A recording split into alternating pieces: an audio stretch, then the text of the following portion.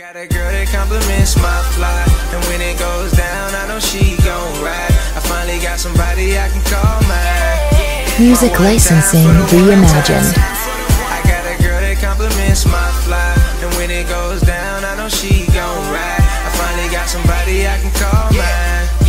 My one time for the one time. Guys, welcome back, welcome back. You know, we, we, we realize, we, real life we changed What up, and Sam? died. You know what I mean? It's been So- a minute. Yeah, I know. We it's- got our name. Alright, so it's been a while, you know what I mean? Um, we just been real busy and stuff like that, whatever. But I guess we're gonna um, kind of get some more, you know what I mean, more videos coming along soon, whatever. I just gotta stop being lazy, guys. So yeah, cause I got a lot of videos I gotta edit, whatever. So I ain't got nobody to pay to do it, whatever. So yeah, there was one day we was gonna record like three, four videos, but he was so busy editing one yeah. that and I still ain't posted that one. Yet, so. but yeah, so uh, we coming back. Whatever we have, um, some advice or you know, what I mean, things that that happen. Um, you know, what I mean, with the pregnancy. We can go ahead. Um, yeah. So it's like how to get through labor with no medicine, no epidural. yep.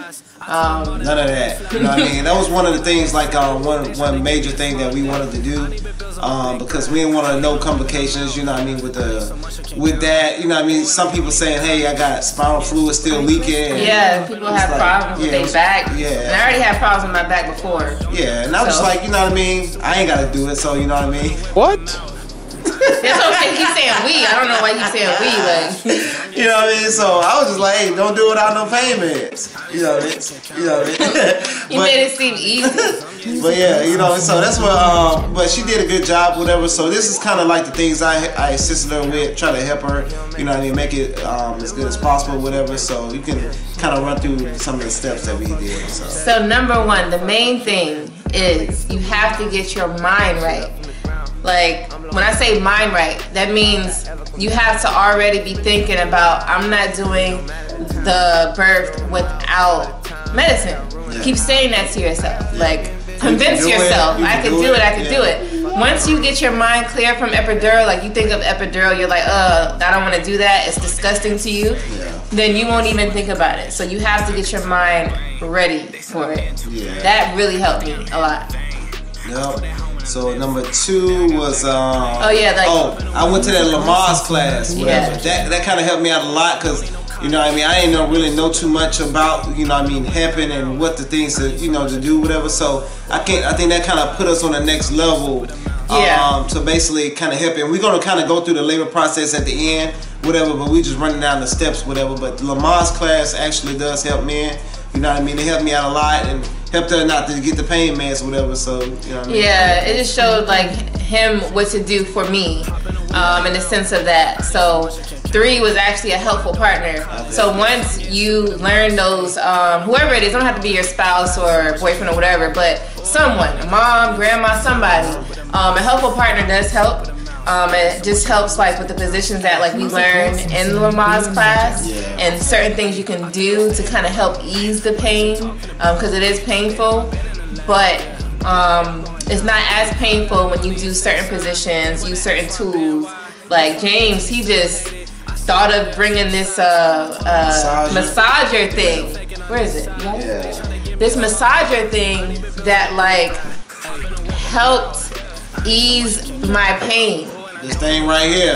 hey, this helped out a lot. whatever. Yeah. You know what I mean? So we kind of like, well, we'll, we'll talk about it later, whatever. Yeah. Yeah. Yeah. But, uh, um, stuff like that. So he thought of it, he brought it with him, it was already in the bag, and he just pulled that thing out, just pulled that thing out.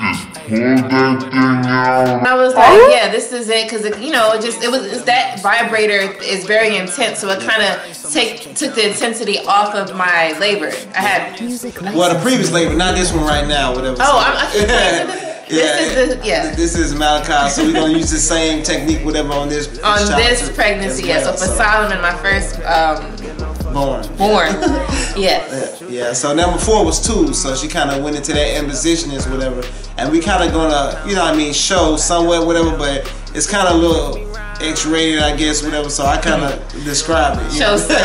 Show yeah. some. yeah, yeah. So uh, number five is Um, um, like listen to your body. Yep. Um, you can listen to the doctor, but listen to your body because sometimes when you go there, they'll say, "Oh, um, you're not in labor or you're not ready yet or Go home. whatever. Go home. Yeah. Listen to your body." Yeah. You know, I it was my first time being in that situation, so.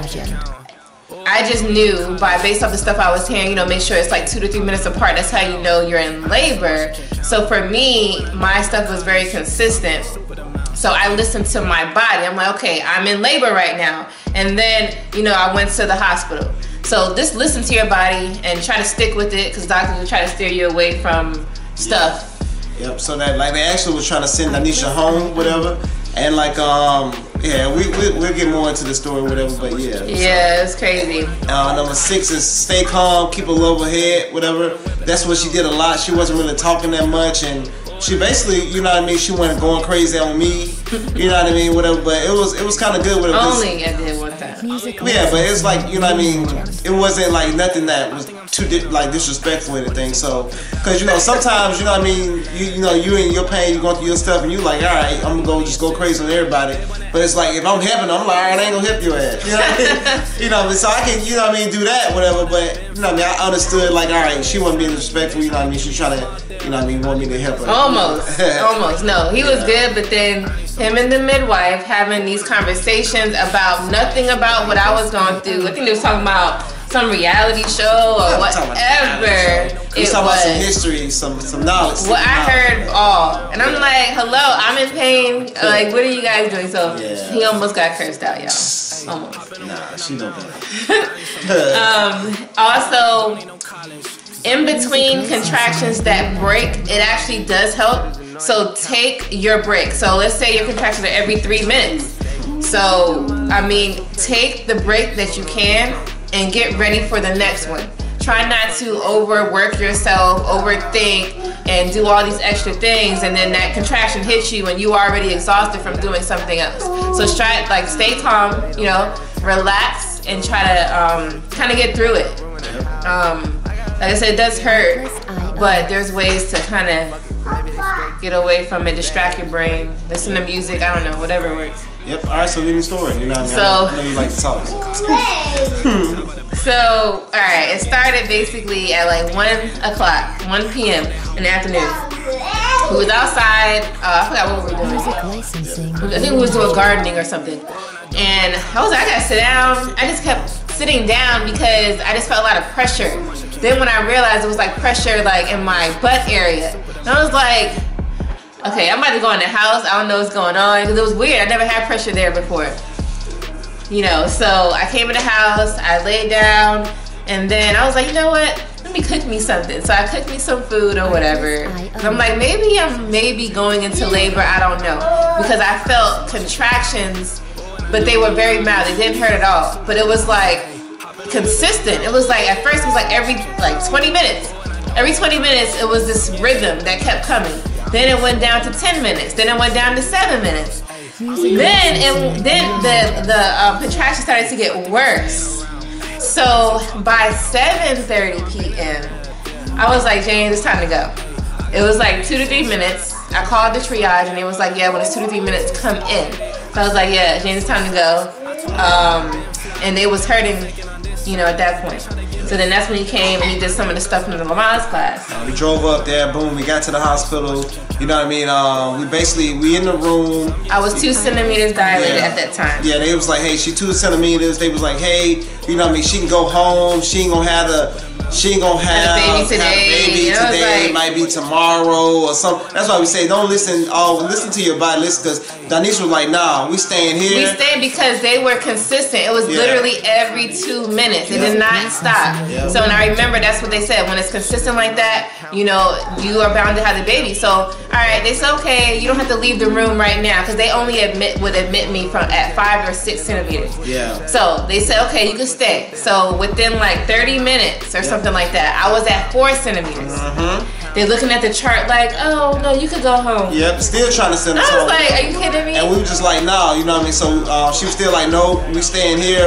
And then so basically, they we- kicked me out the room. Yeah, so basically, like, hey, you just walk around for like an hour or so, like that, whatever.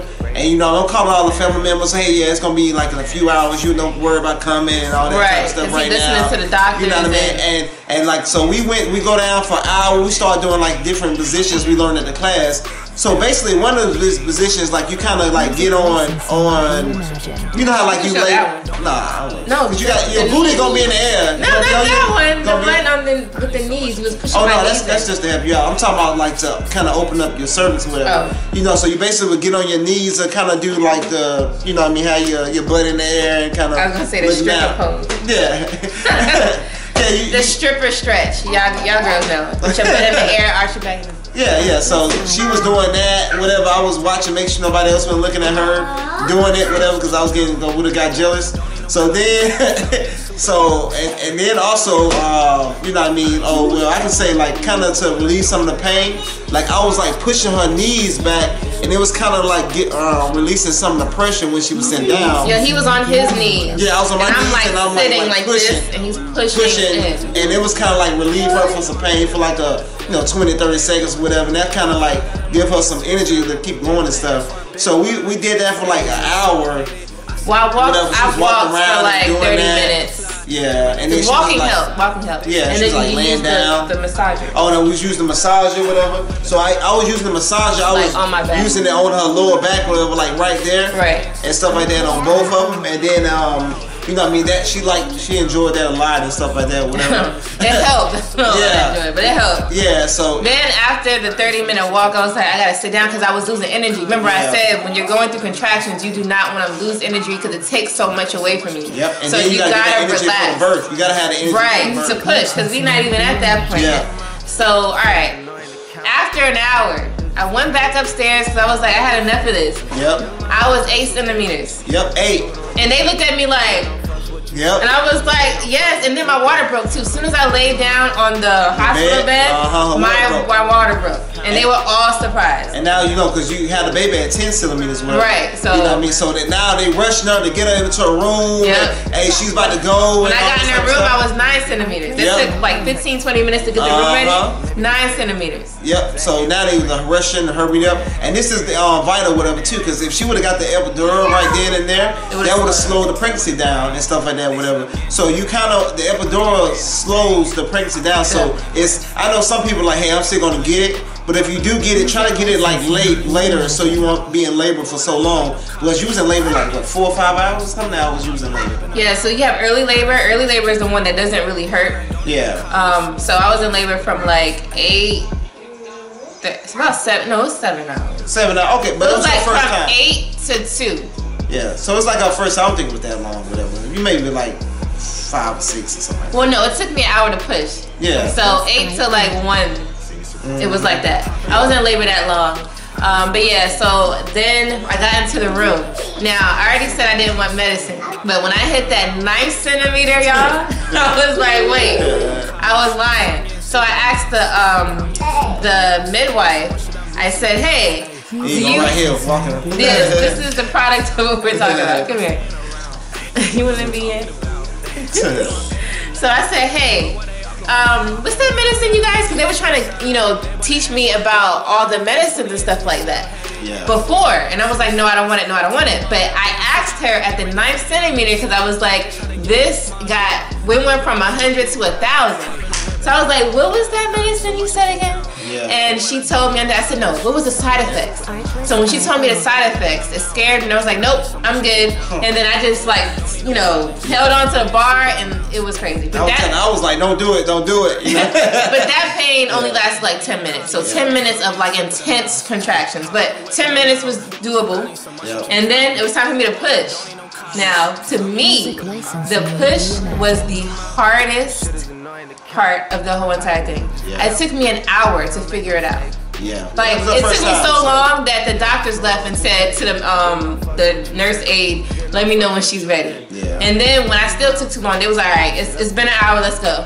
Yeah. The baby's there. Uh-huh. And, and um, when she did start pushing, whatever, one thing that kind of messed me up is like some poo came out. So guys, You really had to say. be ready for the man. But I That jump was on another level, I whatever. Like, lu luckily that nurse kind of wrapped it up quick and got it out of there, whatever. Because I almost passed out. I was just like, yeah, it's gonna be okay. I was trying to, I was just trying to block it. I didn't even going. know I did. Like, they just told me, and I was like, oh, Yeah. my you know, bad. you know, but so- she told me to push like I was taking a dump. And I was, I think that's what scared me. That's what took me so long, because I was like, what do you mean? And it did. Yeah. So I did that, and it came out. Yeah. But yeah, so you know what I mean. Um, that was like a um, it was a, a good experience, whatever, because you know what I mean. She went through without a mess. A lot of people can't do that, whatever. So I was It's- proud of her and stuff like that. And I, I said I never call a week after that. Yeah, because he so- would call Yeah. me. I'm like, Yeah, I, listen, soft I am not soft. I just act soft with him. Yeah. Just so I could get, you know, what I want.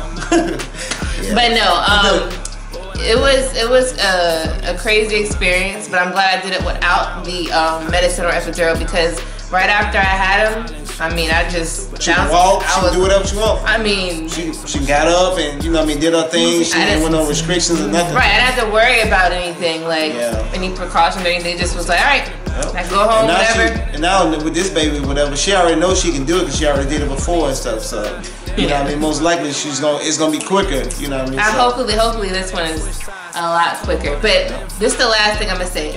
This is what for you new moms. This is what they did not tell me the first time. They never told me about the afterbirth. They always talk about get ready before. So let me help you out with the afterbirth because that part was crazy to me. So when I did get up for the first, I had to wait a few hours, probably like two hours before I could get up out of the bed. As soon as I got up, there was nothing but Blood blood. And the lady told me, she was like, when you get up, you're gonna feel all this blood come down. Music licensing. All of that came down. I was like, kind of like, what the hell? And then I had to go in the bathroom. She said, more is gonna come out. And she was just prepping me on what was to come. And I did not know all of those things was gonna happen. I thought I was gonna get, you know, the blood later, you know. But all that stuff happened then, and it lasts for like, for me, it lasts for about two weeks of just labor blood, not like a regular, you know, the regular cycle that we have, just the labor one. They gave me like, like kind of like diapers and stuff like that. It was Yeah. crazy. And then just, it was just, I don't know. I'm not gonna get We're into gonna end that. the video, yeah. Cause I'm not gonna get into that. She gonna keep talking, whatever. So yeah, this You is guys life, just comment, Jada dies. comment, You message know what I me. mean? I can help you out with that part and get more into detail because it's a lot of the afterbirth that I want you guys to know about and you know have things ready for that. Yeah. So we out, y'all. You know, thank y'all for watching this video. If you got to this point, I need so much I can't count. Oh, and I don't need no college, cause I'm getting stupid amounts. Ayy. You came out, man. I'm sorry. Daddy messed up. I thought I had your whole videotape you coming out. Oh, it's okay. We got fun. Dang. But we got some of it before you came out, so. You didn't get all that screaming. Yeah, I know, right? See, I didn't scream that much with Tom, I remember? I only screamed one time. Yeah, I wish I could have seen you got it so I can really compare it, but. Oh, I remember. Hmm. So I'm sorry, Malachi. Hey, we got at least we got some of it, whatever. But the tape went out. So when you see this when you get older, apologize.